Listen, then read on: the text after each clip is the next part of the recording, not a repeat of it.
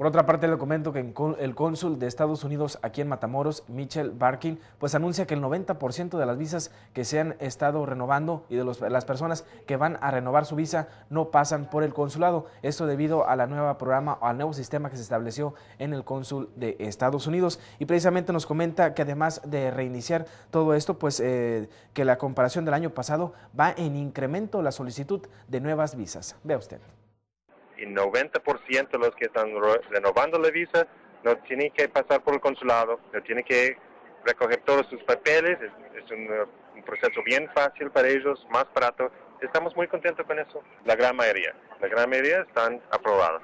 la gran mayoría de gente están usando bien sus visas, están cruzando, disfrutándose, divirtiéndose allá, regresando, ah, y estamos muy contentos de ver eso. Lo más importante es decirnos la verdad, eh, sabemos que mucha gente ha tenido problemas en el pasado. Queremos trabajar con esas personas para ayudarles en, tener la visa otra vez. Eh, entonces, dinos, dinos, la verdad y vamos a trabajar con ellos. Uh, es nuestro compromiso con el público.